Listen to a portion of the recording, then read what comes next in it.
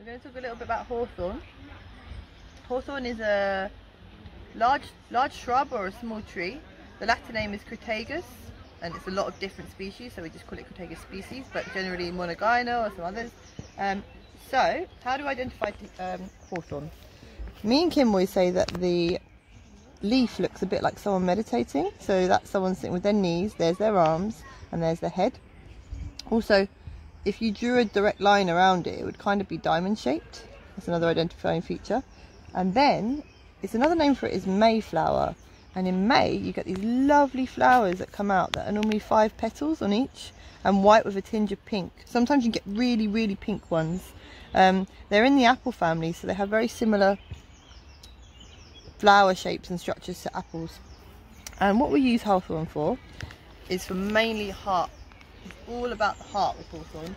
Um, there's been lots of studies that show it can be beneficial for high blood pressure, low blood pressure, cholesterol, normalising um, how your heart beats and, um, and works. And it's a great remedy for anyone who gets palpitations without any serious underlying causes um, and slightly raised blood pressure. So what we use is the flowers and the first young leaves. And then in the autumn time, the flowers become berries and we use those too. We make a tincture, which you can find instructions for on our website or in one of our books. Um, and yeah, enjoy hawthorn. Just make sure that if you're treating any kind of underlying heart problem that you get medical treatment first um, and don't self-medicate.